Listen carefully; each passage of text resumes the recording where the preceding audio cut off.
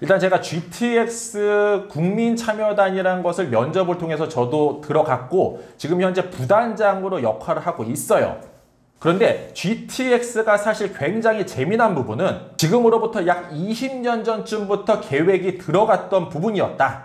이기 신도시, 동탄이나 파주 운정이나 위례 신도시나 이게 삽뜨기 전부터 계획이 설립이 되어져 있었던 거다라고 말씀드릴 수 있을 것 같고요. 이게 오늘날 20년 정도 지난 이후 이제 막 개통을 하고 있는 부분이죠.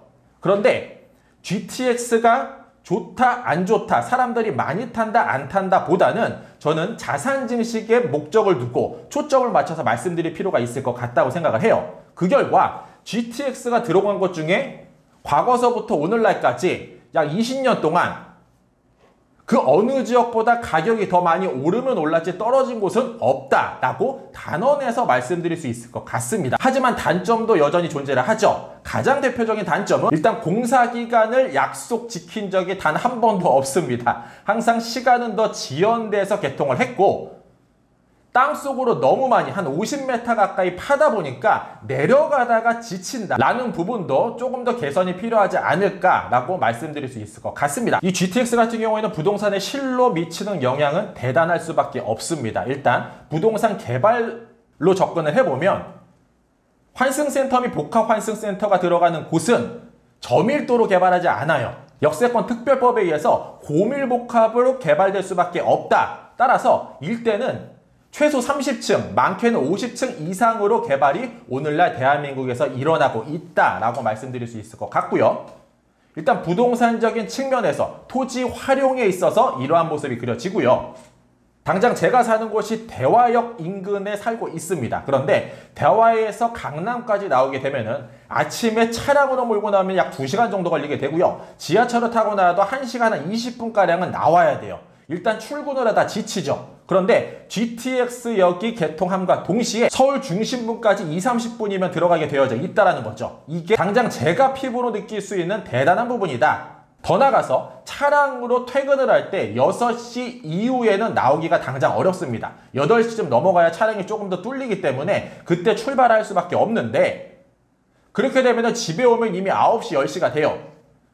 자녀랑 놀아줄 시간도 없고 소위 지금 저출산의 문제가 굉장히 많은데 2세를 만들 시간도 없어요. 따라서 중앙정부에서 계획했던 그것, 저녁 삶이 보장된 가정, 그 아름다운 모습, 그거를 그리는데 GTX가 반드시 긍정적인 역할을 한다라고 평할 수 있을 것 같습니다.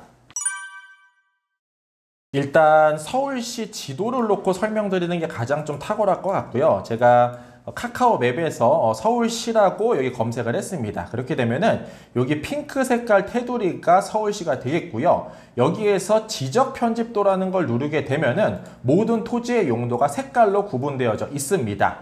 따라서 노란색은 주거지, 초록색은 녹지, 빨간색은 상업지, 파란색은 공업지가 되죠.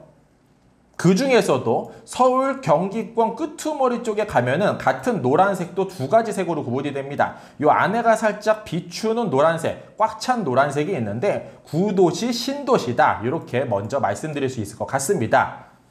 앞으로 서울과 경기권에서 가장 가격이 많이 오를 만한 곳이 어디냐라고 물으신다면 저는 단연 강동구와 하남이라고 추천드릴 수 있을 것 같습니다. 왜냐하면 제가 지금 지도상에 9호선이라고 검색을 했고요. 9호선 같은 경우에는 김포에서 시작을 해서 마곡을 지나 염창을 지나 여의도를 지나 강남을 지나 송파를 지나 현재 중앙보훈병원역까지 개통이 되어져 있습니다. 우리나라 서울의 아침 출근 시간에 사람이 얼마나 몰리는지는 많은 분들이 아실 것 같은데 이 중에서 여의도와 강남 일대로 가장 많은 인구가 몰리고 있죠.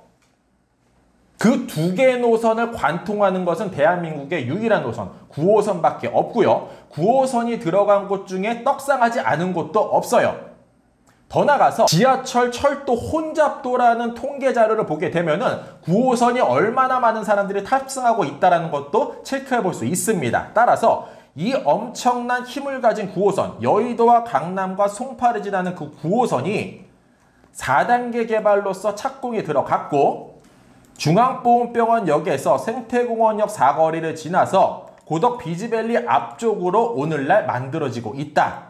지금 제가 강동구라고 지도상에서 검색을 했고요. 강동구 내 지도를 살펴보게 되면 은 9호선이 앞으로 어떠한 그림을 그리겠구나라는 부분도 한번 체크해 볼 수 있습니다. 일단 강동구 내에는 두 개의 노선이 자리를 하고 있죠. 8호선과 5호선이 기존에 있고요. 8호선과 5호선 같은 경우에는 이미 사람이 많이 살고 있어요. 반대로 9호선이 들어가는 이 라인 같은 경우에는 좀 전에 말씀드렸듯이 초록 색깔, 녹지, 그린벨트로 잔뜩 구성이 되어져 있어요. 그 결과 오늘날 이쪽 일대는 사람이 살지 않고 그 중심에 9호선이 들어간다? 왜 들어가지라는 부분을 반드시 퀘스천을 그려봐야 될 것 같다. 이렇게 말씀드릴 수 있을 것 같은데 이 9호선 같은 경우에는 사실 강동구 주민을 위했다기보다는 하남시 주민을 위해서 만들지 않았을까라고 생각해 볼 수 있을 것 같습니다. 왜냐하면 여기 핑크 색깔 선을 기점으로 좌측이 강동구 오른쪽이 하남시예요. 즉 강동과 하남은 하나로 붙어져 있다라고 말씀드릴 수 있고요. 지하철역은 중앙보훈병원역, 그 다음에 생태공원 사거리에 만들어지는 생태공원역, 한영 외고역, 고덕역이 5호선과 9호선이 환승을 하게 되어져 있고요. 다음에 고덕 비즈밸리 샘터공원역이 앞으로 만들어지죠. 이렇게 놓고 봤을 때 5호선과 9호선 사이가 너무 멀어서 이쪽에 9호선을 넣어주는 게 아닌가라고 의심해 볼 수도 있지만 5호선과 9호선 거리는 도보 15분밖에 걸리지 않는다라는 거죠. 따라서 5호선 일대에 사는 사람들을 위해서 9호선이 들어가는 상황은 아니다라고 말씀드릴 수 있죠. 자 그러면 9호선이 왜 들어가냐?